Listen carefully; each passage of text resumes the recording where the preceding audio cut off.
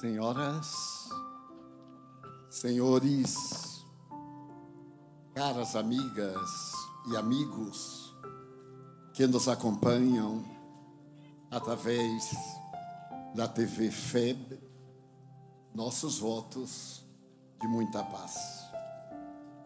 Enquanto escutávamos os corações afetuosos dos que nos precederam pela tela da imaginação, podíamos vislumbrar em uma síntese a história da humanidade. Pelo meu pensamento, passava Ramsés II, edificando no Vale dos Reis a grandeza do Egito e procurando eternizar a sua memória nas areias escaldantes do imenso deserto. Tempo, este construtor de realidades, passa e deixa para nós, sob os lençóis de areia, a memória grandiosa desse povo místico que de outra dimensão veio à Terra para criar a cultura, o mistério, a sabedoria, saltando das areias quentes, mergulhou meu pensamento nas águas do rio Sekiang, o rio amarelo, e pude ver a preocupação de Fo e de Confúcio, elaborando os analéquitos para construir uma sociedade que ultrapassasse os milênios fincada nas tradições e na dignidade. Mas o tempo, na voragem indescritível, fez que aquela memória do passado permanecesse hoje em páginas frias da história. E atrevi-me a saltar para a Mesopotâmia entre os rios Tigre e Eufrates e acompanhar a glória dos dois imensos impérios, nos quais Cambises e Nabucodonosor deixaram as marcas do seu poder, da sua crueldade, hoje transformados e escombros que o vento do levante acaricia com a sua volúpia ardente, fazendo que a memória do tempo seja o tempo da memória.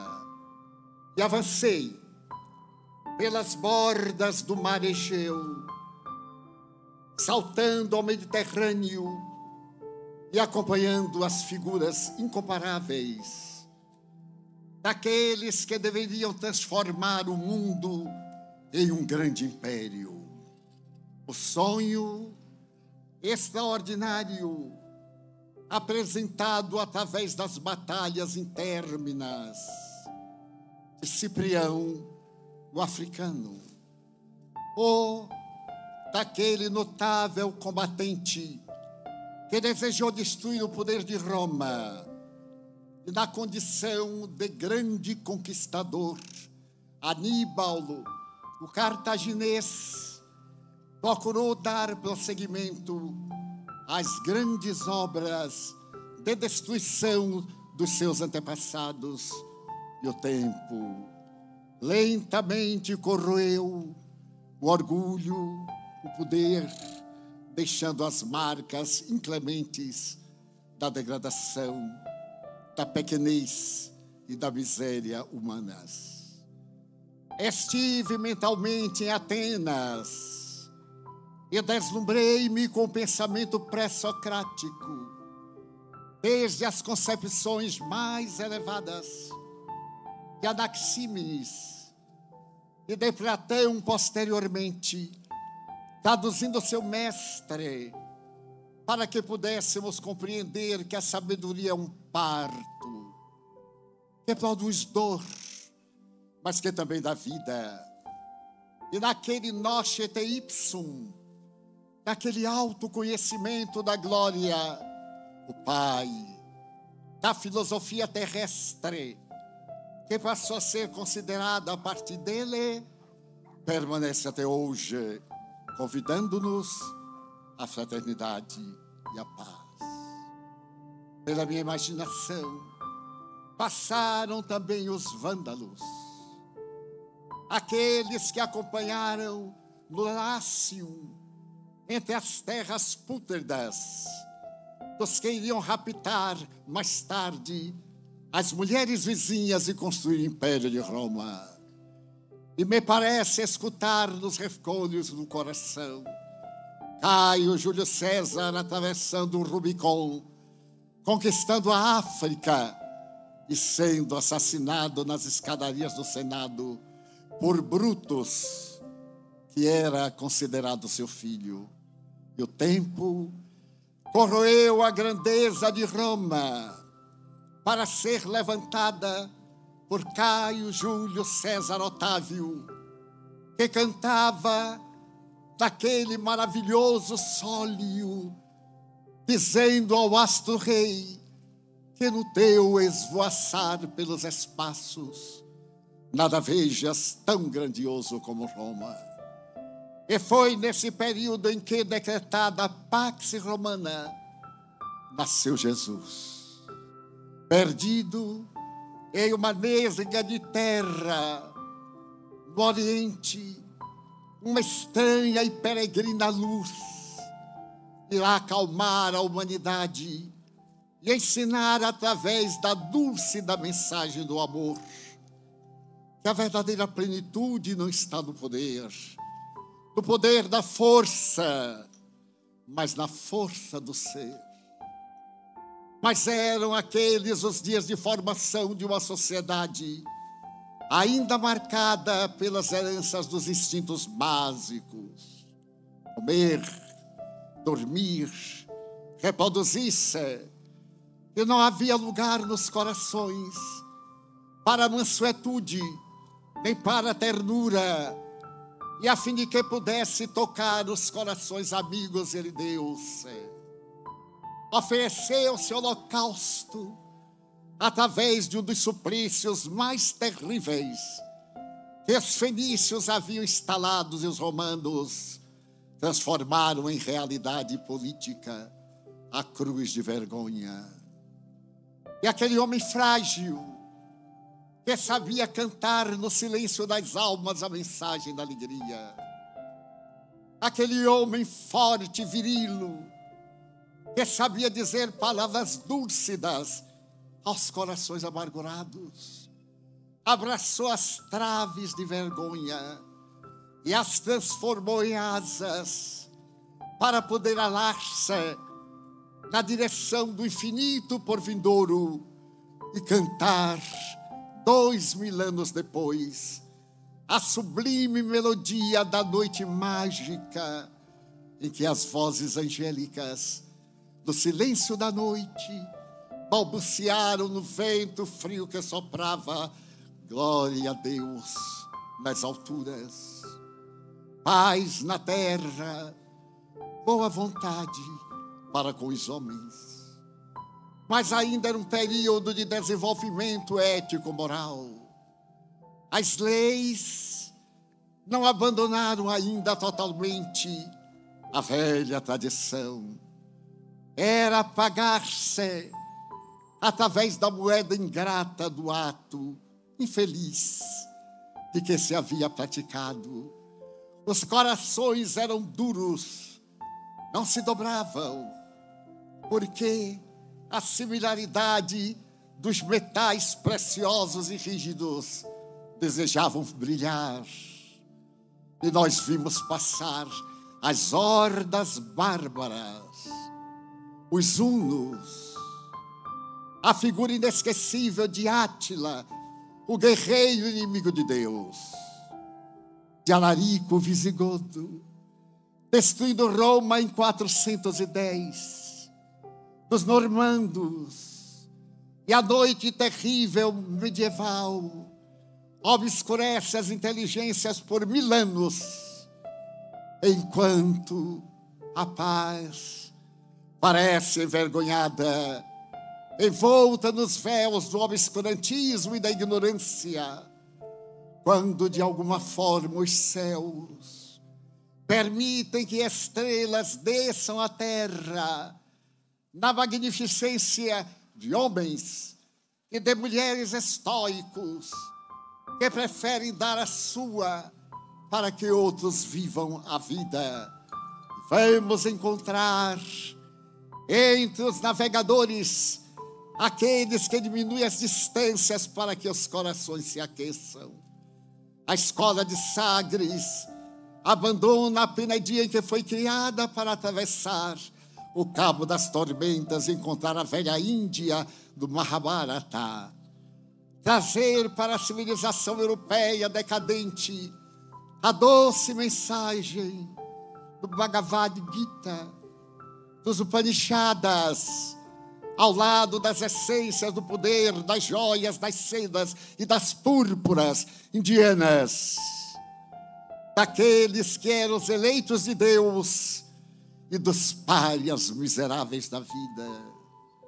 E a renascença apresenta-se desde que foi desenhada pela doce voz do fraco, forte Francesco Bernardone do suave irmã Sol, que aquecera o século XII com a sua ternura inefável e deixara marcas profundas da história para que Dante Alighieri pudesse cantar na Divina Comédia a tragédia do cotidiano no inferno da consciência, a bênção de Deus no pensamento do amor de Beatrice, a adorada noiva platônica, ou aquela aflição monótona do purgatório decantado por Virgílio.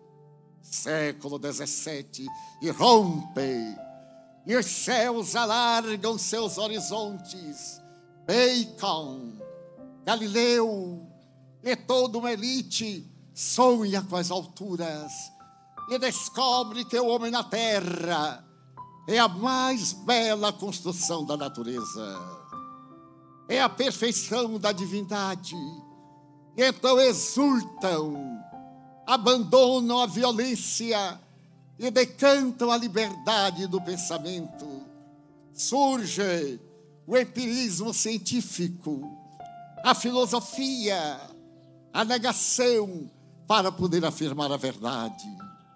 E quando o século XVIII coloca nas bocas sonhadoras dos filósofos franceses a tuba da revolução, e um jovem do interior vem cantando a marselhesa, o sangue que jorra da máquina é de onda de Jean Guillotin, é o sinal de que irão medrar as flores da esperança naquele humo sanguinolento dos que deram a sua vida pela liberdade, pela igualdade, pela fraternidade, pelos direitos do homem e da mulher diante da vida. E a partir daquele inovidável 1792, quando são estabelecidos os primeiros direitos humanos, o século XIX irrompe com o corso, levando a guerra para estabelecer a paz, levando poder para propiciar fortuna até os dias solitários de Santa Helena. O trágico 5 de maio de 1821, quando uma cirrose hepática ceiva a vida do homem que construiu o império Napoleão Bonaparte a figura de Jesus, que estava no estandarte das batalhas, que a revolução expulsara da França, e a segunda concordata com o Vaticano trouxera de volta em 1802, deveria propagar-se a partir de 1857, quando Hippolyte Leon Denis Rivaio proclamaria a imortalidade da alma. O ser humano não é um conglomerado de células. Que se candidata à transformação molecular na decomposição do túmulo. O ser humano é vida, é o hálito de Deus que perpassa a natureza, se congela no corpo e se dilui na direção do infinito para desfrutar da plenitude. E nasce com a revolução da imortalidade da alma, a grandeza da sobrevivência, o ideal de servir sem servir-se, de amar sem desfrutar do imediato resultado. E os ideais de liberdade tomam conta do mundo, proclamando a necessidade dos direitos humanos, a imensa necessidade da liberdade de pensamento, de palavra, de ação. A ciência alcandora-se. O século XVIII descobre a microbiologia, descobre a astrofísica, os mistérios que faziam parte da ignorância tradicional são decodificados, encontram-se nos indivíduos como arquétipos, e em breve a psicologia desata os nós da ignorância mental e alarga os horizontes do pensamento e da consciência. Nessa consciência profunda, algo diz: Deus vive em nós. Ele não está fora. Ele é a essência transcendente da realidade, que sente, que ama, que fija e que cresce dentro de cada um de nós para poder integrar-se em harmonia nesse sublime holograma do todo, em tudo, do tudo, no todo, e os ideais de liberdade. Mas o tempo, voraz, a semelhança da esfinge da estrada de Tebas, continua devorador. E a humanidade supõe que o poder é a maior glória da inteligência. Fomenta guerras. As guerras sucedem-se. E no mês de agosto de 1942, em Auschwitz, um espetáculo deverá mostrar a hediondez humana e a humana grandeza do ser humano. Era manhã Ali estavam 600 homens de um pavilhão.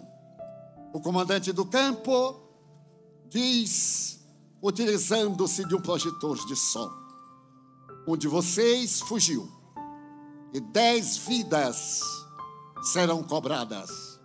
Esse outro fugir, na próxima vez, serão vinte vidas, e assim sucessivamente começou agora a examinar aqueles que deveriam morrer, porque um fraco os abandonou e selou com a sua covardia a destruição da vida dos seus amigos fiéis.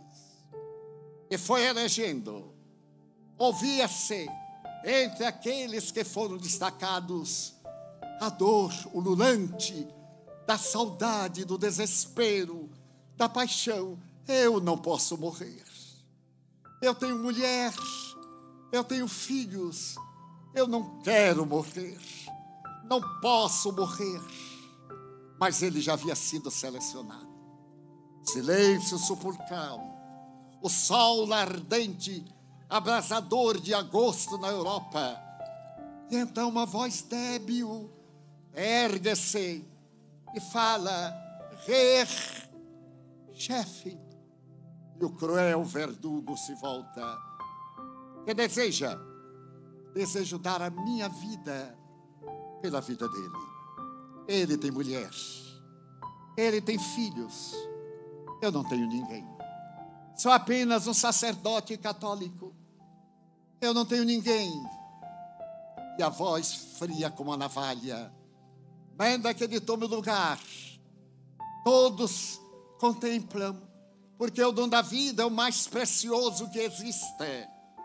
E Maximilian Kolb, o sacerdote polonês, repete Jesus ali no campo selvagem e vai jogado numa caça-mata para morrer à fome e asfixiado com os outros nove ante o abrasar do calor daquele fosso terrível, cantando o seu inário de amor a Deus e a sua esperança de uma humanidade mais compassiva. Uma semana, todos morreram, mas ainda se escutava uma débil voz que saía daquela construção de cimento armado, quando então se abre o tempo e desce um médico com uma ampola na qual estava um difícil veneno. E encontra Maximilian Kolbe, encostado com olhar brilhante, contemplando o infinito, e diz timidamente: Dê-me o seu braço para eu ajudar a morrer. E na artéria aplica a substância tóxica, e no semblante do moribundo, o sinal é de vida, não é de morte. Maximilian Kolbe tomba o corpo putrescível, enquanto a sua memória se levanta na terra e vai conduzir os passos da humanidade no sacrifício. A paz é mais fundamental ao ser humano do que o pão. Maximilian Kolbe não tinha nada, mas tinha vida, que era o seu tesouro e pela paz de outra vida, deu-a em um holocausto de silêncio, em um campo de desolados, onde não havia lugar para esperança. Acredito que foi ele que estimulou a um outro, que se tornaria um dos mais notáveis psiquiatras do século XX. Chegou a notícia no campo que estava selecionando homens para um lugar mais gentil, menos áspero do que Auschwitz. E foram selecionados aqueles que deveriam partir. Entre esses, um notável psiquiatra judeu, que fora tirado ali no campo e experimentara todas as vicissitudes. Chamava-se Viktor Frankl. E no momento em que ele vai entrando no trem, um polonês desesperado segura-o. Ele, que era austríaco, e diz assim: dê-me seu lugar. Eu espero voltar a Varsóvia.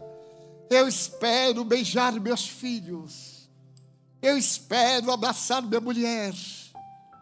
E então Victor Frankel sabia que todos os seus familiares haviam morrido. Nada o esperava do lado de cá, daquela porteira maldita. E então ele pensou: mas é minha vida, eu sou judeu.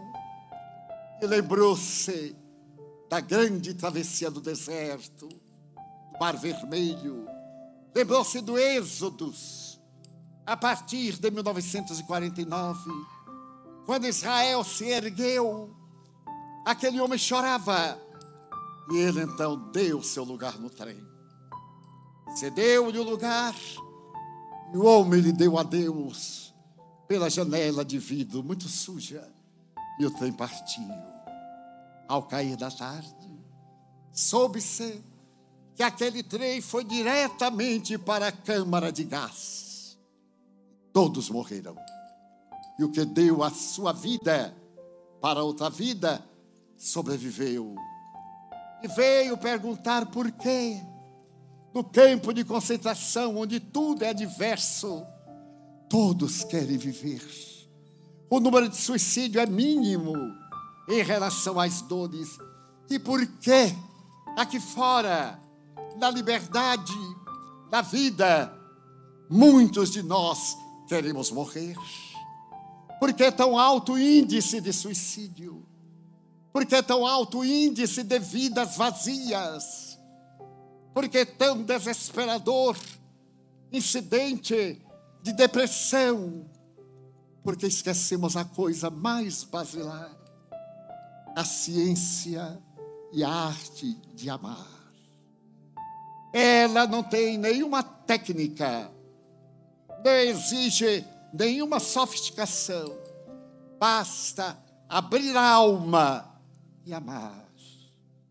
E por muito amardes, todos saberão que sois os meus discípulos.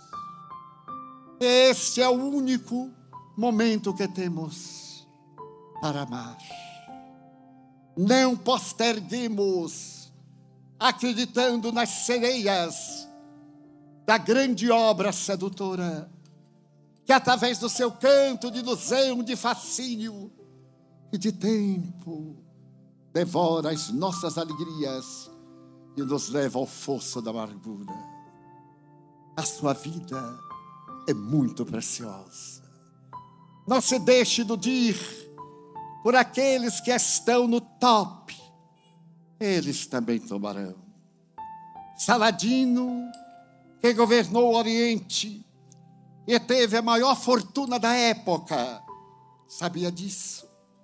E no seu testamento pediu que a sua roupa fosse colocada na ponta de uma lança o seu braço caído fora do esquife, para que todos vissem que a ciência da vida desaparecia com a morte, e que alguém fosse cantando à frente: Ele foi, foi, foi o homem mais poderoso da terra, e os seus bens atirados aos miseráveis, Aquiles, Aquiles magou e deixou a lição profunda de que nós somos aquilo que fazemos. E estamos no lugar que devemos. E o nosso dever é construir um mundo para os invisíveis desta noite férica, para os toxicômanos que estão tombados aqui nos lugares de prazer, de prostituição, de engano e de ilusões. Então eu venho em nome daqueles que não têm voz. Tenho a audácia de falar por aqueles que têm a voz silenciada pela dor, pelo sofrimento, pelo abandono social.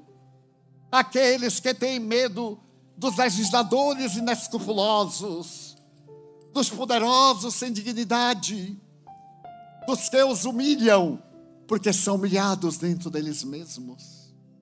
Não venho falar em meu nome, disse Dom Helder Câmara, na Rive Gauche, em Paris, em Saint-Germain-du-Pré.